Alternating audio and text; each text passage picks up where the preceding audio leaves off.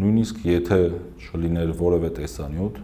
այս գործը հնարավոր է հեշտությամբ բացահայտել, ինչու կան մի շարք հանգամանքներ։ Ըստ էության հնարավոր անձանց շրջանակը կարելի ասել հայտնի է, դրանք ոստիկանության կենտրոնական բաժնի ծառայողներն են, ովքեր իրականացրել են այսպես կոչված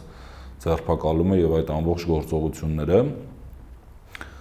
այն մեքենաները, որով իրականացրել են Վահեն Ավոյանը, մանրամասն տեղեկություններ ներկայացրել է դրանց վերաբերյալ, դրանց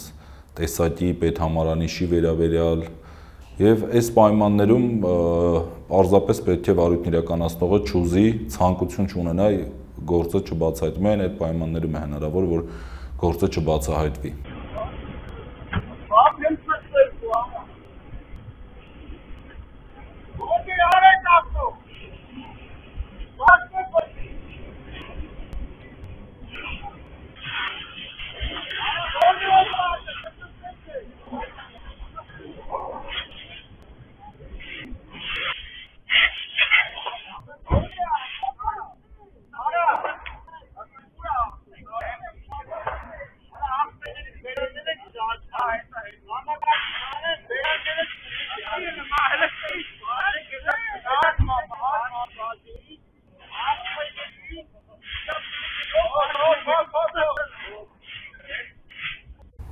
14-ին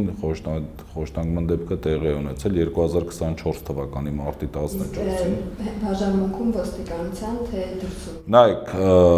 ոստիկանության բաժանմունքում են որոշ դրվագներ եղել առավել շատ իրադարձություններ եղել է մեքենայի մեջ մեքենայի մեջ երբ որ հրապարակված կադրերից երեք Վահեն Ավոյանը գտնվում է մեքենայի ետնամասում առանձին անձիկ մտնում են, հարվածում են, դուրս են գալիս, ընդ որում իրեն այդտեղ տեղափոխում են մի քանի ավտոմեքենայով, մեկ ավտոմեքենայով, որին եւ ուղեկցում են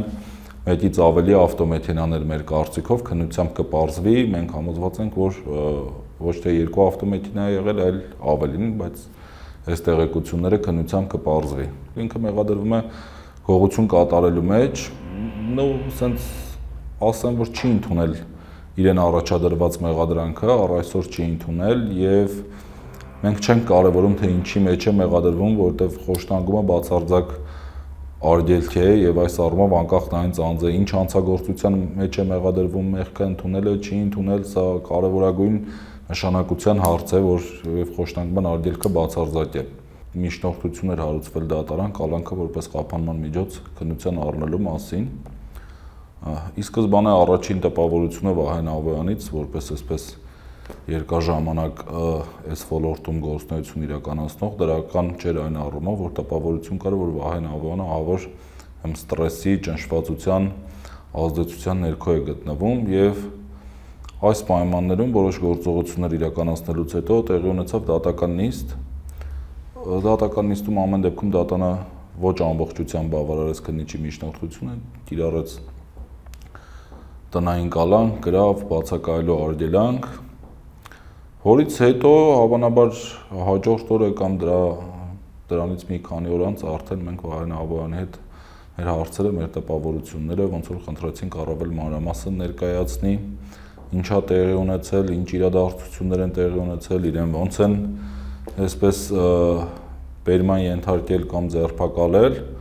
որի արդյունքում մեր մոտ խորը համոզմունք ձևավորվեց, որ Վահեն Ավոյանի նկատմամբ տեղի ունեցել խոշտանգում։ Ինչու, որովհետև Վահեն Ավոյանը նկարագրում էր իրադարձություններ, երբ իրեն բռունցքներով հարվածել են, հայհոյել են, սպառնացել են իրեն, իր եղբայր հասցեներին են, եղբայրների հասցեներին են սպառնալիքներ հնչեցրել, որ աշխատանքից կազատեն, որ լավ չի լինի, որ բոլորով կնստեն։ Ըստ էության մենք ոնց նայում ենք բուն, այսպես բռնություն գործադրելու խոշտանգման նպատակը տեղեկություններ կորզելն է եղել ոստիկանների կողմից, որը եւ հաջողվել է։ Անթուփ Վահեն Ավոյանին այսպես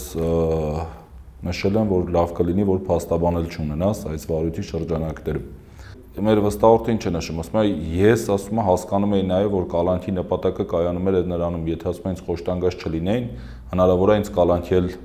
միջնորդություն չհարուցվեր ասում եմ, բայց ես ասում եմ լավ քաշ դիտակցում էի, որ ինձ փակի տակ պահելու անհրաժեշտությունը պայմանավորված է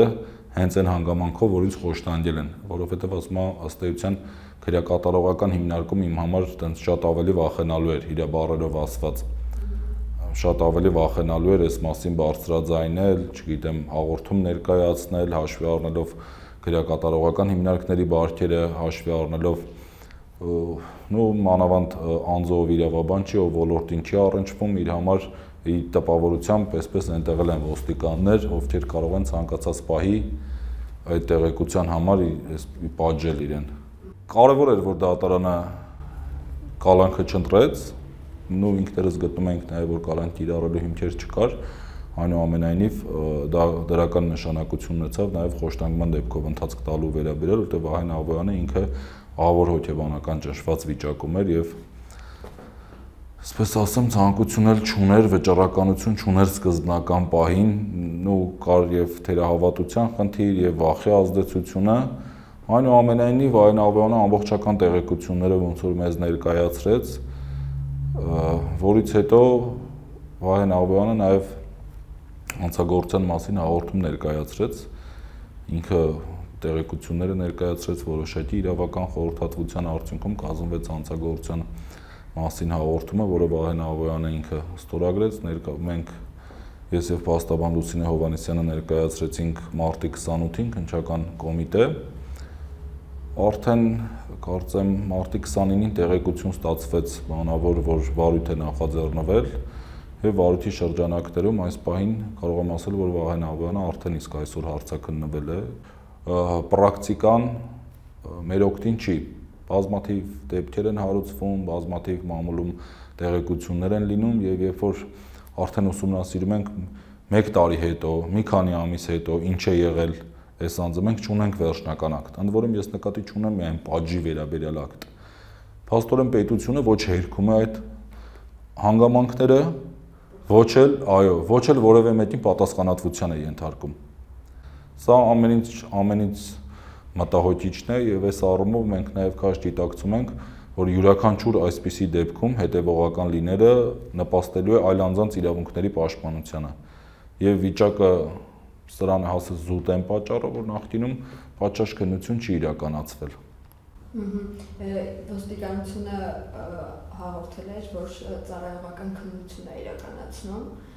ծառայողական քննությանը ոնց եք վերաբերվում։ Ծառայողական քննությունը վնասելուց բացի որևէ օգուտ չի կարող բերել քրեական վարույթին որևէ ինչու, որովհետև ոստիկանությունը ի վիճակի չի թեկուս ծառայողական քննություն իրականացնելու վերաբերյալ այսպես դեպքերով նախ օբյեկտիվ քննություն իրականացնել, սա կարևոր արձանագրում է։ Երկրորդ բոլոր այն դեպքերում, երբ խոսքը վերաբերվում է հանցագործությանը, այսինքն բավարար տեղեկություններ կան, իսկ առավել եւս այս այս դեպքում, երբ որ արդեն իսկ քրեական վարույթ նախաձեռնվել է, ծառայողական քննություն չպետք է իրականացվի։ Թե ոստիկանների իրավունքների տեսանկյունից փաստորեն ստացվում է, որ մարդիկ, ովքեր քրեական հանցագործության մեջ են մեղադրվում, պետք է գնան նույն դեպքի վերաբերյալ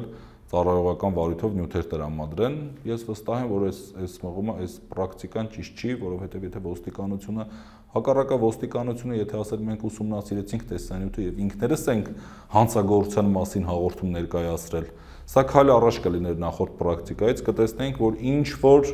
այսպես միտում ունեն, որպեսզի իրենց համակարգում տեղի ունեցող ապօրինությունը ընթացք ստանա եւ ի վերջո բարձվի օբյեկտիվ իրականությունը բայց փաստորեն ոստիկանությունը փոխանակ ինքը հաղորդում ներկայացնի, նշում է, որ ծառայողական քննություն են իրականացնում, երբ որ ակնհայտ, ասպես ասեմ, առերևույթ հանցագործության մասին տեղեկություններ են։ Հենց առաջին քայլը արդեն իսկ սխալ է, որովհետև առաջին ոստիկանությունը որևէ տեղեկություն չպետք է ունենար այն մասին, որ մենք հաղորդում ենք ներկայացել։ Եթե ներկայացրել ենք, ոստիկանության հայտարարությունը պատշաճ կհամարվեր, եթե իրենք նշեն, որ մենք մեր իրավասության սահմաններում